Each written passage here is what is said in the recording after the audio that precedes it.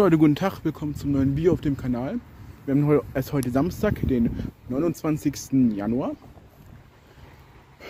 Und wir befinden uns heute wieder, also wir befinden uns heute in Dortmund Obernette, an der Haltestelle Obernette. Und haben diese Siemens Lichtzeichenanlage, das, das kleine Häuschen da, mit der Technik gesagt, allerdings Scheid, also halt Scheid und Bachmann, soweit, soweit ich gut denken kann. Wenn nicht, korrigiert mich und Baujahr 96. Wir lassen ihn noch sein Auto hier durchfahren und dann reden wir weiter.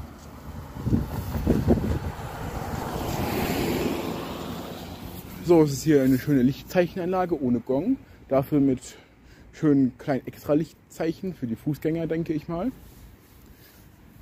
Und ja, hier fährt eigentlich die U47 lang.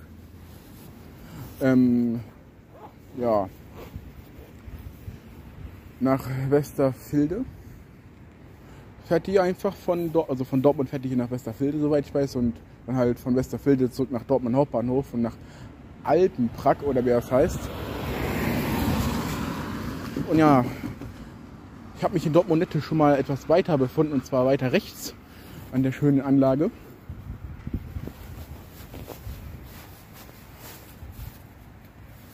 Ja, und wenn man vom Teufel spricht. Also ja, die Lichtzeichen von Siemens. Ähm, hier finde ich es ganz cool, dass die das Andreaskreuz da nicht direkt dran gemacht haben, sondern nochmal extra aufgestellt haben. Das finde ich ganz cool. Und das wird hier noch, auf, an diesem Tag werde ich heute noch zwei weitere Anlagen aufnehmen. Also eine auf jeden Fall. Und zwei weitere muss ich gucken, ob da überhaupt was fährt. Und da ist die U47 nach Westerfilde. Also da. Und ja, ansonsten gibt es weiter nichts von mir zu berichten.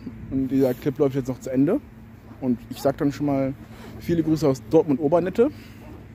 Die Anlage ist, denke ich, auch signalabhängig. Und ja, die weiteren Clips seht ihr nach dem Intro.